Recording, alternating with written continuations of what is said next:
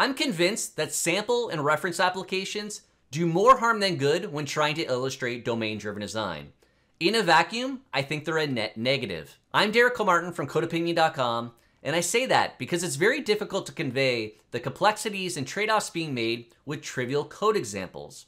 Beyond that, these types of code samples are the wrong place to start. So where should you start? You should start caring. I want to thank EventStore for sponsoring this video.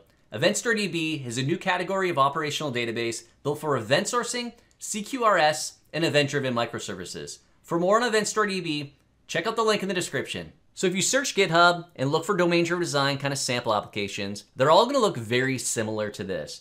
This one is a warehouse, so it's not just to do, it's a little bit more than that, right? So what you're thinking, this may be a great starting point.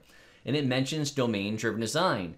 More specifically, it talks about things like protected properties and having our operations on entities and creation constraints, um, required and length attributes, value objects, Sounds like all things related to domain-driven design. This should be a good starting point. Now looking at the code, the sample is also using clean architecture, so I'm in the domain project. There's a product entity, we can see it here. And as mentioned, it has private setters, so we can't set those out publicly. So we have a private constructor here because we're using entity framework core, and we have different update statements, or methods I should say, which really are kind of trivial. They're just, well, they are trivial. They are making sure that the name can't be empty, making sure the length of the name can only be within a certain limit. And we're doing the exact same thing for the description. So do we have really business logic here? Some would call this business logic. I really call it trivial logic. But what is this, like, is this really a domain model? So what's a domain model? Well, really, it's just an object model. It's a collection of related entities and value objects, but it's composed of both data and behaviors, encapsulating that data and exposing behaviors. And it's incorporating both and your ever changing business logic. Now, you may not want to believe me, but I just didn't randomly make this up. It comes from Patterns of Enterprise Application Architecture. I've done videos in the past. I'll have links at the very end of this video on when to use a domain model, but to reference it, when to use it. It all comes down to the complexity of the behavior in your system. If you have complicated, and as I mentioned, ever-changing business rules involving validation, calculations, etc. That's where you want to consider using a domain model. But also, this last line is very important. On the other hand, if you have simple null checks, or what I was describing as trivial validation, and a couple of sums to calculate, a transaction script is a better bet. Now, transaction scripts are that. They're for handling simple requests. They might just interact with your database directly or through some simple abstraction, and they're generally usually pretty procedural when you kind of like look at them top down. Now where things can kind of go sideways a little bit or when you see that you might be going too far with them is when you have one transaction script that you feel like it needs to maybe call another one or maybe you're starting to duplicate logic because you have this validation logic or something that needs to happen between both transaction scripts. So they went from simple to maybe not or maybe needing each other now or you have a lot of duplicate code. And this often revolves around state. Let's say we have a ship order, that's a transaction script. We do something within our database to set that order. As we're we've shipped it, it's good to go. But then we have another request come in to the cancel order transaction script, and that really shouldn't be able to happen because it's kind of based on the state of the actual order at that time. But what happens if we don't really have that validation logic correctly when changing the state? because really it's just public getters and setters. They're just data buckets. We're interacting with our database directly. We may change the state of that order and cancel it when we shouldn't have. So that may be the time you start thinking, really we want to encapsulate all this behavior, the ship order, the cancel order, and all the logic around what you can and can't do where behind a domain model, behind that object model, so that you're interacting with that and then persist it separately. So we think we have these handlers, wherever they are, these use cases, we interact, if we're talking about domain-driven design, an aggregate, we're interacting with an aggregate root, and it's really kind of that boundary around those collections of related entities. It controls all the state and persisting everything together.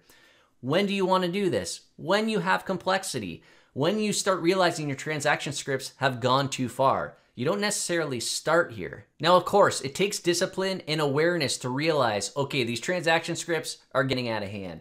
Maybe your progression is you start with a transaction script, then you move more to an anemic domain model which is not an anti-pattern. It's only an anti-pattern if you think you have a domain model, but you don't. But maybe you moved more towards that, and then maybe you move towards an actual domain model where appropriate. That's why I think these samples and reference applications are the wrong place to start, because they do not illustrate complexity. That's the whole point of applying these tactical patterns that they're trying to illustrate. And that's the other part of this. Sample and reference applications, why I think they're a net negative, is because they cannot really convey the complexity needed. They're sample applications. That's kind of the point. They're simple. They don't have a lot of complexity because otherwise you'd get bogged down trying to understand the actual domain that they're in, like warehousing. It's really not as simple as that sample. It's really complex, but it's not going to illustrate all that domain complexity. It's the wrong place to start to be looking at code. Where should you start? You should actually start thinking about and caring about your domain. Now that means to some degree, code really is the last aspect that you're focusing on. Not entirely, but it's not the only thing you're focusing on. I'll have a link to the description. This is from DDD Crew on GitHub, and I think it's an awesome graphic to illustrate this. Is at the very start, is trying to understand what's the business model and the user needs. Like, what are we trying to actually accomplish here?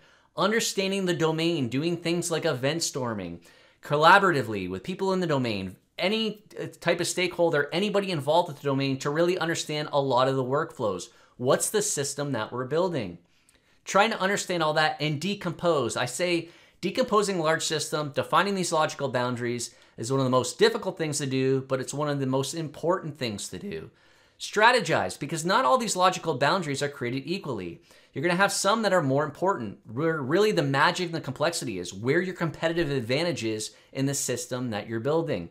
You have all these logical boundaries. How are they all going to connect to each other? There's obviously kind of handoffs between workflows, between this boundary and this boundary. Who's going to be writing the code? Organize your teams around this. That's where a lot of this comes from is really realizing we have this boundary, these are the people that are going to be working on it, etc. Define the roles and responsibilities of that bounded context. What is it actually going to provide? Code it, start coding, iterating. But you can see here, you just don't start with the code. Looking at these samples at the very beginning to understand this is how I do DDD isn't really the answer. You need to understand the domain. Domain-driven design is really just giving a shit about the domain. It's understanding it and capturing those concepts in code. Knowing that you have a supporting boundary and that transaction scripts are totally fine, well, that's doing domain-driven design.